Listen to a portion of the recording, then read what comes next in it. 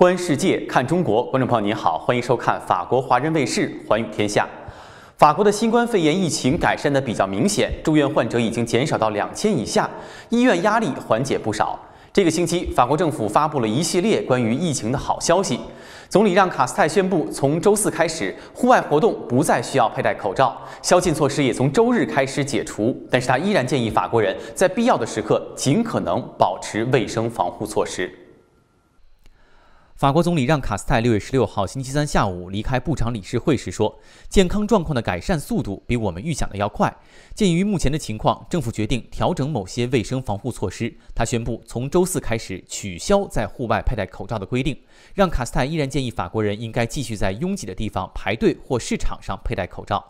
第二个重大公告：法国从去年十月开始实施的宵禁，在八个月之后，终于要彻底取消这一措施了。让卡斯泰说，原计划在六月三十号之前结束的宵禁措施将于周日停止，这比计划提前了十天。但是对于音乐会和体育赛事，限制性措施仍然有效。总理表示，自去年八月以来，从来没有想到病毒的传染率下降的这么快，每日感染病例已经低于五千的门槛。迄今为止，没有任何省份出现令人担忧的情况，医院服务的压力大大降低。目前只有不到两千人在重症监护室住院。法国政府的目标是到八月份实现三千五百万民众完整接种疫苗。佩戴口罩的措施已经有所修改，宵禁也从下周开始不复存在。很多法国民众关心夜店什么时候才能够重新开门呢？对此，法国卫生部长奥利维·维兰在接受电视台采访的时候表示说，夜店大约会在七月份可以重开。下周呢，医学专家会一起对目前的情况进行评估，届时将会讨论特殊健康通行证的更多细节。法国卫生部长奥利维耶·威兰周四在 B F M 电视台上给出了夜店复苏的条件：夜店开门可能会被强制使用特殊健康通行证。很多民众关心，针对新冠疫情的限制措施什么时候才能结束？卫生部长奥利维耶·威兰周四上午宣布，七月夜店将在特殊条件下重新开放，并提到了六月二十一号的会议将重点讨论具体的恢复日期。卫生部长详细介绍了医疗专业人士正在制定的一项健康协议，他们提到了特殊健康通行证的可能性。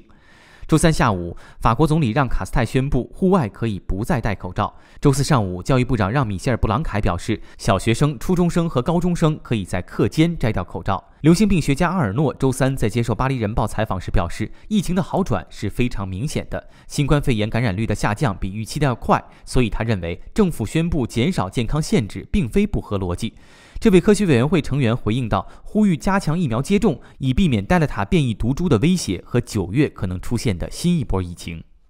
就像医学专家说的，什么时候能够彻底解封，关键看疫苗接种工作的推进情况。从周二开始，十二到十七岁的青少年都可以接种疫苗。前一阶段，法国的疫苗接种工作进展得非常顺利，有六成的成年人已经注射了第一剂疫苗，高龄人口的疫苗注射率也是接近九成。法国离群体免疫又迈进了一步。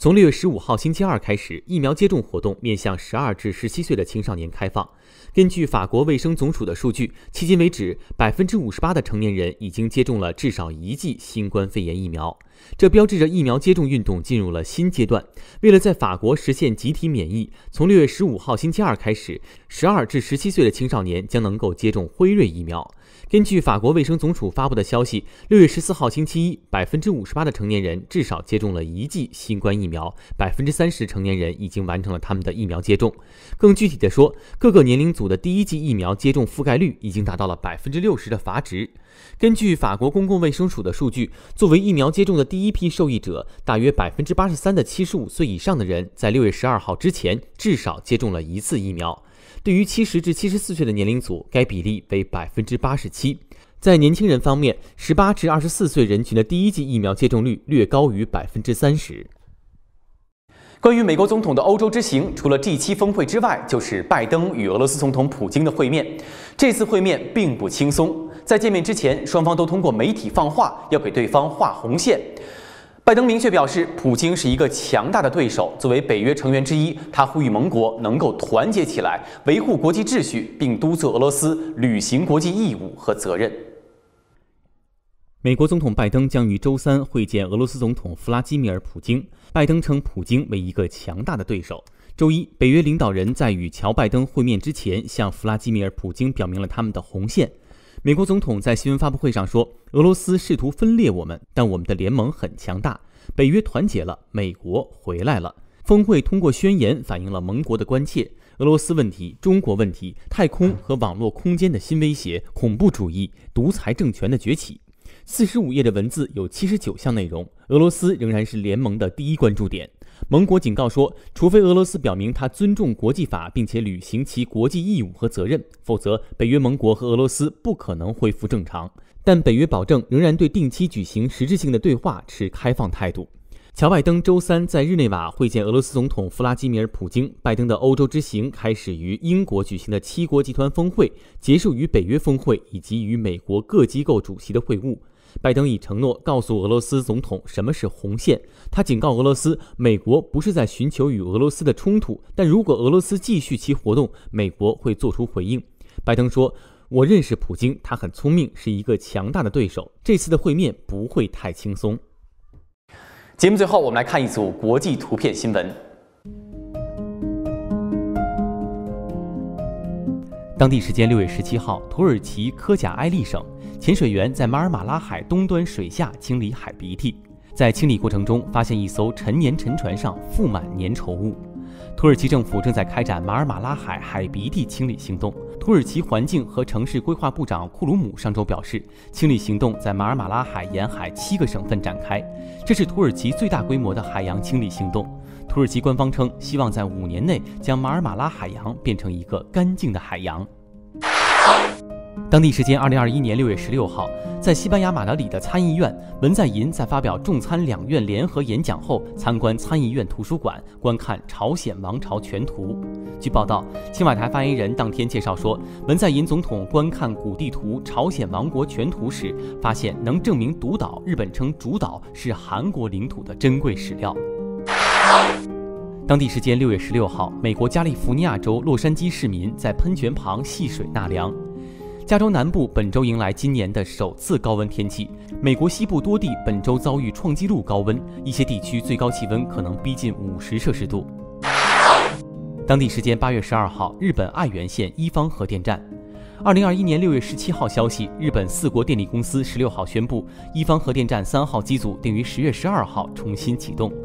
二零二零年一月，广岛最高法院曾因相关设施未完工、不符合新出台的核电站规定而禁止该核电站运行。这一决定今年三月被取消。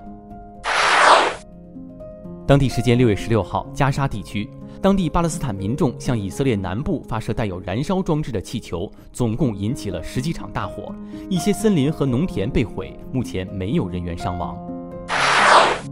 当地时间六月十七号，黎巴嫩贝鲁特。近日，在包括首都贝鲁特等多地的民众举行罢工示威活动，示威者阻断道路交通，抗议经济持续恶化和汇率上涨。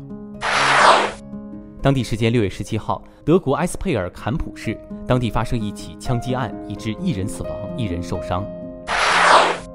当地时间六月十八号，荷兰阿姆斯特丹当地博物馆展出荷兰王室黄金马车。从1898年开始，这辆黄金马车陪伴荷兰王室出席了许多重要场合。每年九月的王子日，荷兰国家元首还会乘坐其前往议会发表国情咨文。2015年，这辆饱经沧桑的御驾被送去维护。